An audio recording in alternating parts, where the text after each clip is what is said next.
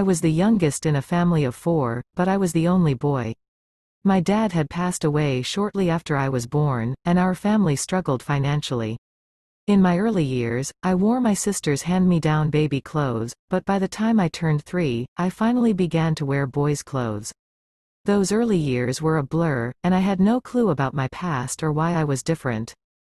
My sisters, Kat, Carrie, and Penny, were all significantly older than me, with the closest one being six years my senior.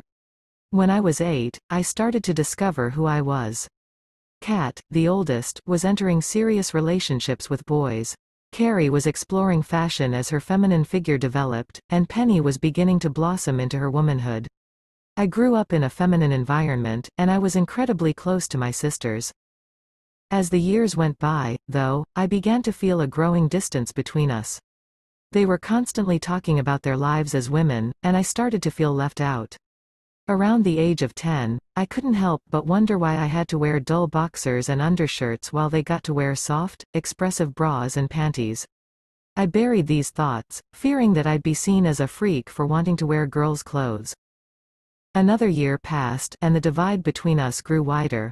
Kat had graduated college and was engaged, Carrie was away at college, and Penny was starting her senior year of high school. It was shortly before my 11th birthday when my desires finally got the best of me.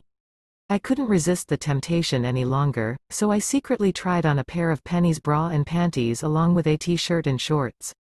The joy I felt was overwhelming. On my 11th birthday, as I blew out the candles, I made a wish. I wished to be Elena, the youngest sister. Afterward, I asked for my mother and sister's attention and confessed my feelings. Growing up with three sisters was an adventure, but last year I began to feel like I was losing you guys, I said. A couple of weeks ago, I put on a bunch of Penny's clothes and I loved it. I was wondering if you three could teach me how to be your youngest sister. My sisters blushed and apologized for the divide that had unintentionally formed between us. But they happily agreed. And so began my journey as Elena, four years later, living as a completely female version of myself, supported by the family who had always been there for me. My sisters embraced my request with open hearts. They became my mentors, guiding me through the intricacies of being a girl. From makeup tutorials to fashion advice, they patiently taught me the things I had missed growing up as a boy. I vividly remember the day we went shopping for my first set of clothes. It was an exhilarating experience. Walking through the aisles filled with dresses, skirts, and blouses, I couldn't help but feel a newfound sense of belonging. My sisters helped me pick out outfits that matched my personality, and for the first time, I felt like I was expressing myself authentically. As time passed, I grew more confident in my identity as Elena. My sisters and I became even closer, sharing stories, secrets, and laughter like never before. They stood by me as I faced the challenges of being a transgender girl, offering unwavering support and love. It wasn't just my family who accepted me, my friends at school also embraced the real me. I found allies among my classmates, and together, we created a safe and inclusive environment. High school brought new opportunities and adventures.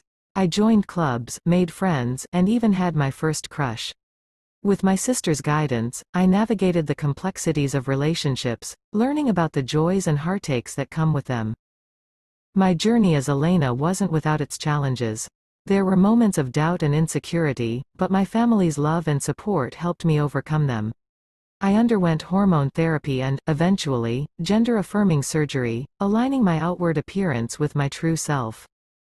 My graduation day was a milestone I had once thought was impossible. Standing on that stage as Elena, I felt a profound sense of accomplishment. My family beamed with pride, knowing how far I had come on this remarkable journey.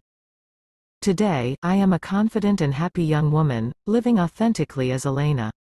My sisters, Kat, Carrie, and Penny, remain my pillars of strength and support. Our bond is unbreakable, forged through the trials and triumphs of my transformation. As I look back on my life, I'm grateful for the courage to embrace my true self and for the love of a family that stood by me every step of the way. My story is a testament to the power of love, acceptance, and the strength to be true to oneself, no matter the obstacles.